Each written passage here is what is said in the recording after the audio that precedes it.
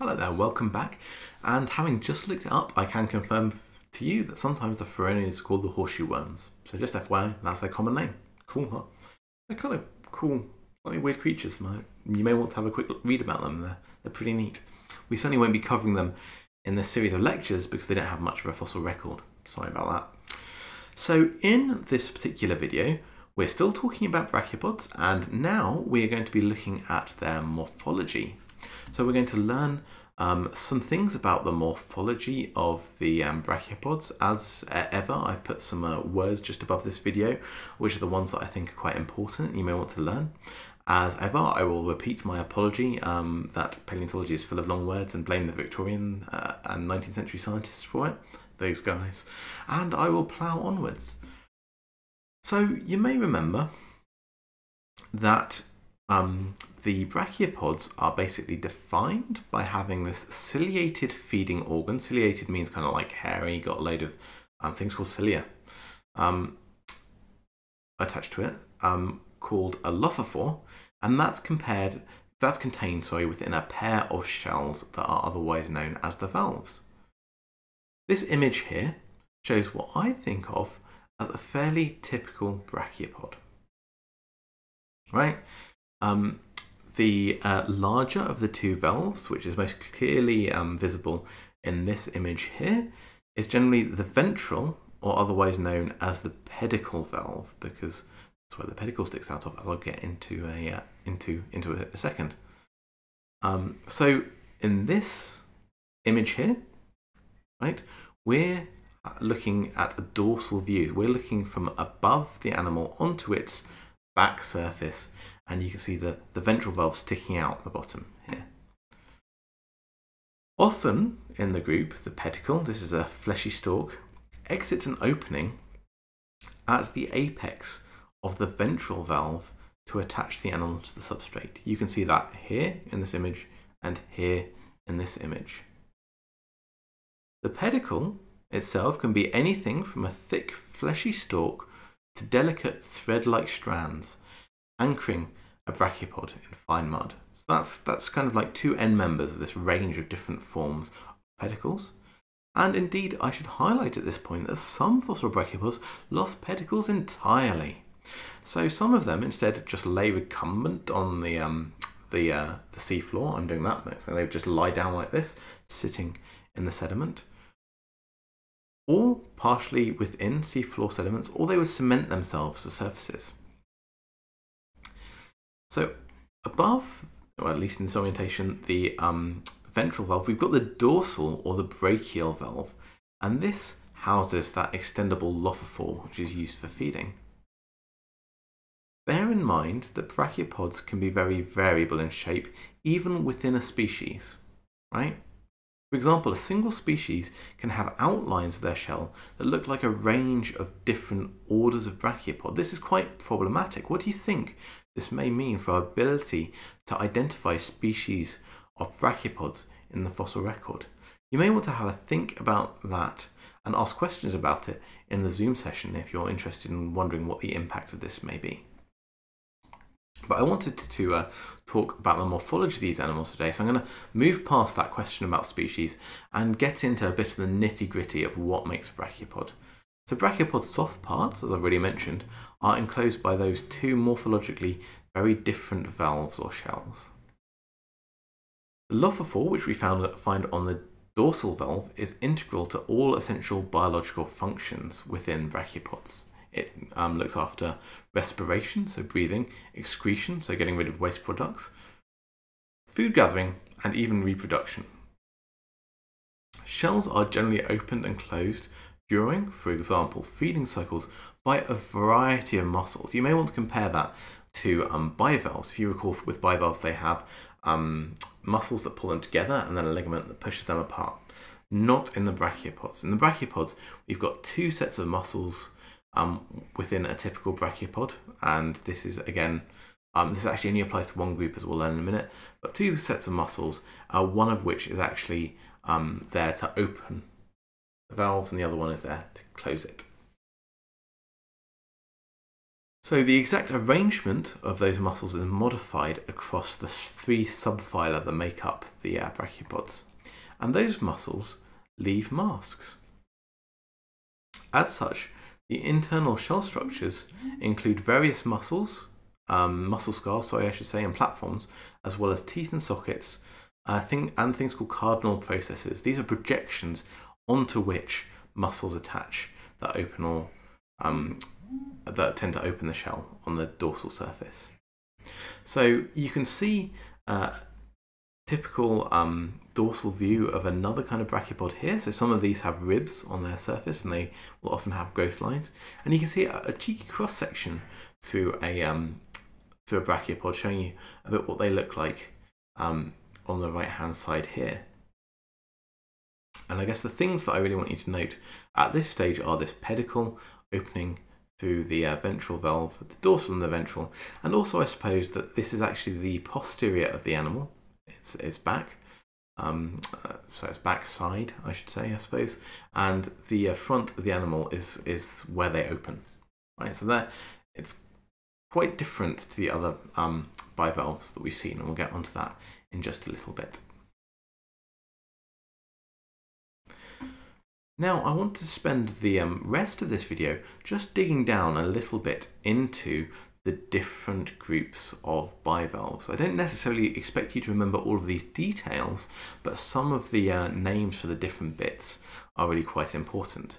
And I think within the, for this group, it's probably best for you to look at the list I put above the video and label your diagram um, based on the 3D models I've put below the video, using some of the knowledge that you've picked up while watching this. I'm going to start by looking at the Rhynchonelliformians. So this is actually, this is kind of the, um, these are the articulated brachiopods. These are the ones that um, certainly I have seen most commonly in the field. Um, these have a pair of calcitic valves, so their, their valves are made of calcite, but they also have a fibrous secondary layer. Uh, I'll be showing you what that means and what that looks like in the next video. They are hinged posteriorly, so at the back of the animal, and they open anteriorly along the commissure. So I mentioned that in the last video. The commissure is just the line along which they, they open. Articulation within these animals is achieved through um, some teeth on the ventral valve, the bigger one, uh, and some sockets on the dorsal valve, the smaller one. The valves were opened and closed using muscles called the diductor and the adductor. And those oppose each other and leave scars in the shell. As you can see here, you have adductor muscle scars and diductor muscle scars. Most, but not all, members of this group attach to the substrate using their pedicle that emerge through a hole in the ventral valve, and that hole is called for a foramen. Foramen is actually just is used in quite a lot of different groups. It's just a, a, a kind of a, a, word for an opening or a hole. The images on the right show a couple of um, typical or important forms. The ones with the white background here are spiriferids. These are quite easy to recognize because they've got this long hinge line um, and they're common in later Paleozoic rocks. And the right are orthids, which are a very common group in the lower Paleozoic, particularly in the Ordovician. So this is what you tend to see when you're doing field work in different parts of the Paleozoic, and certainly these are the ones I feel most comfortable and familiar with. The other things, uh, labels you may want to pay attention to on this um, diagram, uh, some of these are obvious, are things like rib for one of the ribs on the shell and a growth line for one of the growth lines on the shell. Um, the umbo, so much like in bivalves, the kind of the, the, the youngest, the kind of bit that represents the juvenile bit of the shell is called the umbo. And you may want to have a quick look at the, uh, the teeth and the sockets here. But I think the remainder of these labels are not really important to, um, to, to be anything other than conversant with. You don't need to learn them or anything like that. So that was the Rhynchonelliformia.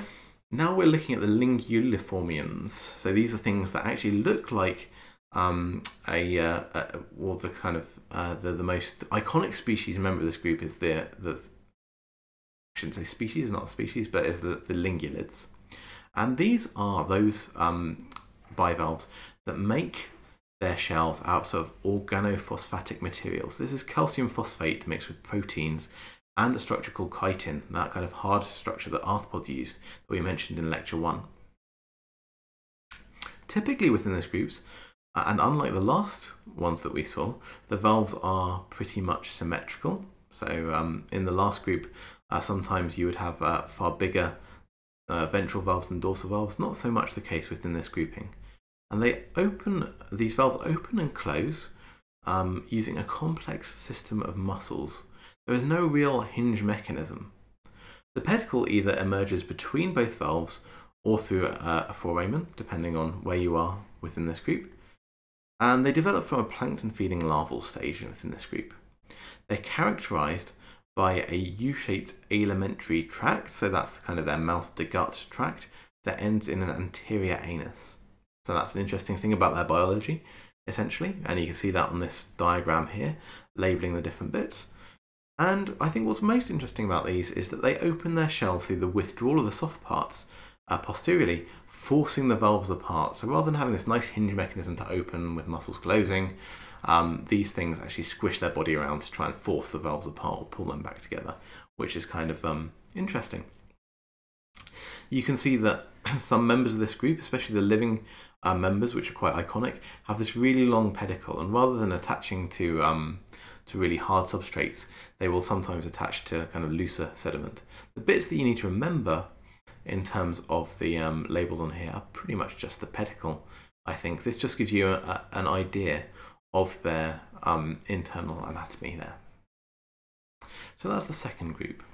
And I wanted to finish by um, highlighting um, the third group, that's the craniiformians. These are diverse and they're probably a monophyletic group, but they actually, uh, members of this group look quite different from each other. Unlike the, um, the last group that we saw, their shells are based on calcium carbonate and they are also inarticulate so they don't have a well-developed hinge. They opened and closed their shells during uh, using hydraulic mechanisms rather than muscles and generally had a mode of life where they attach to a hard object with all or part of the ventral valve. They've got no pedicle at all as a result. Um, you can see some uh, a typical interior to one of these here with a number of different muscle scars labelled on there. So again, you've got um, adductor uh, muscle scars. Uh, you've got some median muscle scars and lateral muscle scars within this group. So I wanted to note for you on the right that this creature here, this big one, is an Ordovician articulated brachiopod. It's actually a thing called the uh, from a group called the Strophomenids. Um, and this is not a member of the uh, the group that we're talking about, the crane, craniiformians. Actually, the, it's these smaller things that are encrusted on it that I remember this group. And here's a close up of one of these to show what they actually look like. So this is typical of this slightly weird group of brachiopods. So that's the three major groupings of the brachiopods, and that's brachiopod morphology as a whole. The key question I think you may face as um, working geologists is how do you tell brachiopods apart from bivalves? And that is a, uh, a question that you really shouldn't be getting wrong, I, don't, I, I think, um, at any point in your career stage. So bivalves, shown on the left here, are fundamentally different to brachiopods, right? If we look at the commissure of bivalves, um, many of them are symmetrical around the commissure, this opening. That is not true of many brachiopods, which is quite uh, indicative. So you can see an example here where the commissure goes down there. These two sides are not mirror images of each other. So essentially what I'm saying is that bivalves in, in most, well not all cases, have two identical valves, and that is not true of the majority, they're not all brachiopods. Okay, so that's one way you can tell them apart. Bear in mind that this underlies a really fundamental difference in their biology. In bivalves, um, you have the right and the left valves. Um, whereas in the brachiopods, you have dorsal and ventral valves. The actual um, directions the animals are facing in uh, is quite different. So the other way that I find really useful um, to tell these apart is that in brachiopods, the planar symmetry bisects both valves perpendicular to the plane along which they open. So if you get one of the, um, uh, you know, what, either the dorsal or the ventral valve and you look down on the uh, creature, it's symmetrical left to right when you're looking down that way, right? That's not the case in the bivalves. In the bivalves, if you turn them sideways and look at the split between them, they'll be symmetrical across that.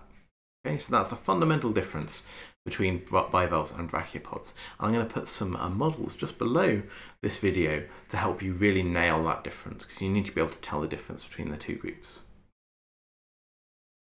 Okay, so that's a really important thing to remember. So please do have a look at those models and make sure you can get your head around how those two kinds of shells differ because it's really, really um, good to be able to tell them apart. And with that, I'll be coming back in the third video to highlight what brachiopods look like when you find them in a rock or a thin section, and then highlight why they're useful to us as geologists. So I'll see you soon.